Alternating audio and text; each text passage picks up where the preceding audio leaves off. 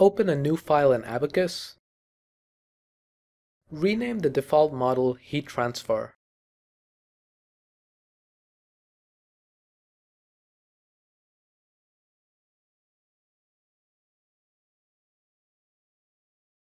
Create a new part called block, which is a 3D deformable solid extrusion, and set the approximate size to 5. Sketch the profile using the Create Lines Rectangle tool. Dimension it using the Add Dimension tool.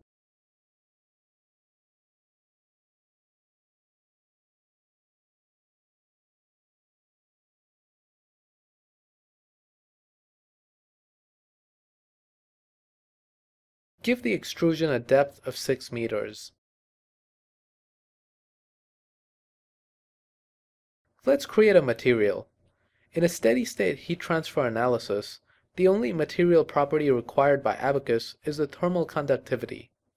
We will use the material copper.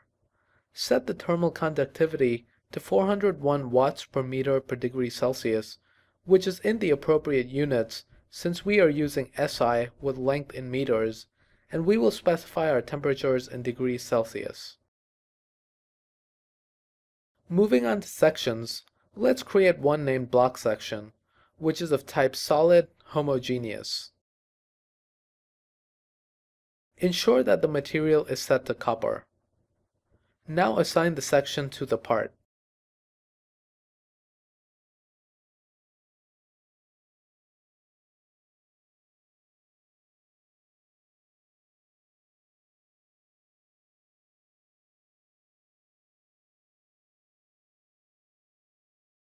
Create a dependent instance of the part in the assembly.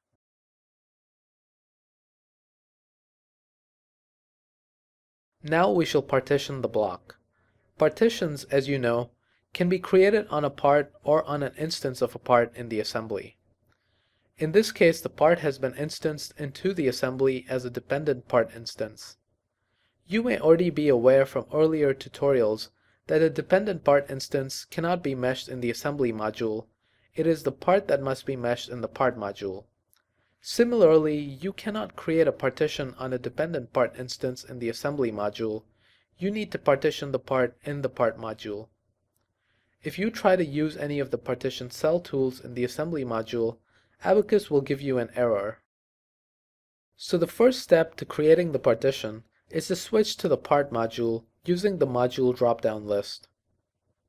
We shall create the partition by creating a datum plane where we would like the partition to be, and then use this datum plane to partition the block. Let's use the create datum plane midway between two points tool.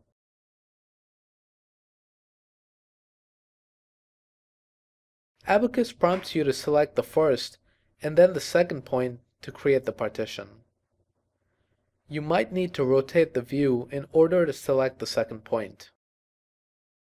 Abaqus will generate the partition midway between the two points we selected. Now let's use the partition cell Use Datum Plane tool. Abaqus prompts you to select the datum plane. Then click the Create Partition button. You see in the viewport that the part has been partitioned.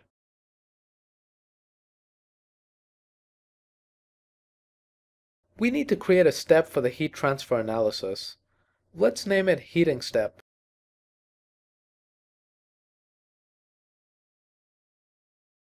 The procedure is a general heat transfer.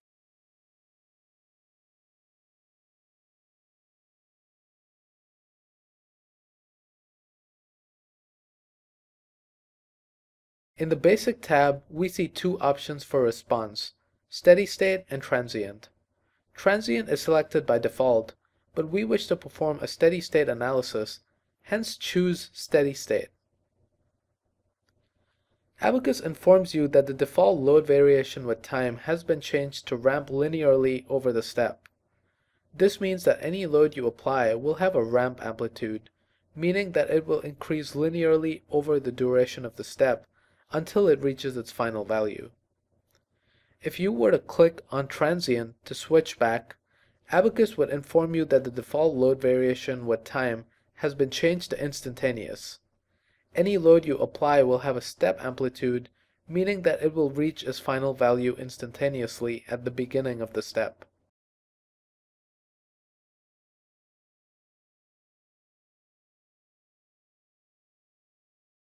So, to summarize, steady-state heat transfer procedures in Abaqus have a ramped load variation by default, whereas transient heat transfer procedures have instantaneous loads by default. This behavior can be changed. If you switch to the tab labeled Other, you see a section called Default Load Variation with Time with two options, Instantaneous and Ramp Linearly over Step. The user has the option of choosing one over the other right here. So if you select Steady State Response in the Basic tab, and Abaqus changes the default load variation to ramp, you can open up the Options tab and change it back to instantaneous.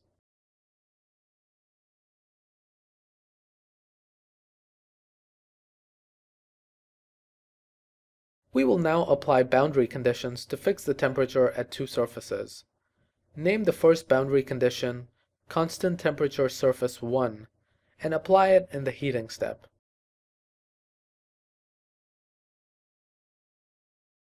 This may strike you as surprising because in the previous tutorial videos, we have generally created our boundary condition in the initial step. While in many of them, it would have been equally valid to create the boundary conditions during the load step, my personal preference is to define them in the initial step, since I like to think of them as existing even before the loads are applied. However, this is not possible in this procedure because Abaqus will not let you apply any non-zero boundary conditions in the initial step. In previous tutorial videos, our boundary conditions have involved fully or partially constraining the instances by setting either a few or all of u1, u2, u3, ur1, ur2, and ur3 equal to 0, depending on which degrees of freedom we wish to constrain.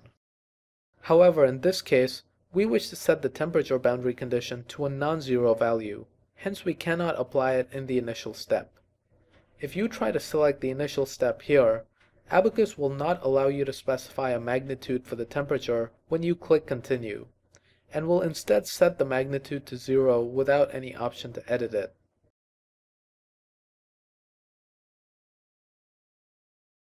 Set type for selected step to temperature. Abaqus prompts you to select the regions for the boundary condition.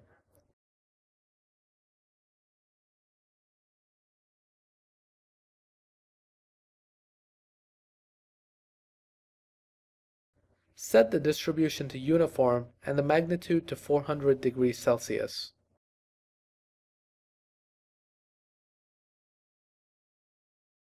Similarly, create another boundary condition named constant temperature surface 2 Set this one to a temperature of 350 degrees Celsius.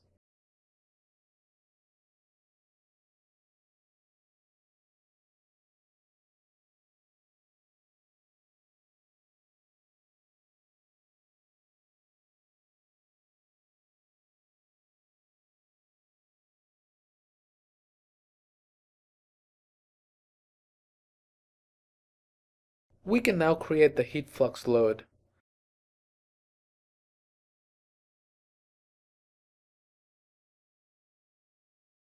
Set the step to heating step, and the type to surface heat flux. Abaqus prompts you to select the surface for the load. Select the surface in the viewport and then click Done. Since we are using SI units with length in meters and temperature in degrees Celsius, consistency requires that the heat flux is specified in watts per meter squared. We will give it a magnitude of 5000. We leave the distribution at uniform, which is the default. If instead you wanted to create an analytical field represented by an expression, you could choose user-defined and click Create. We also leave the amplitude set to the default of ramp, which, as mentioned before, will linearly increase the heat flux from 0 to 5000 watts per meter squared over the analysis step.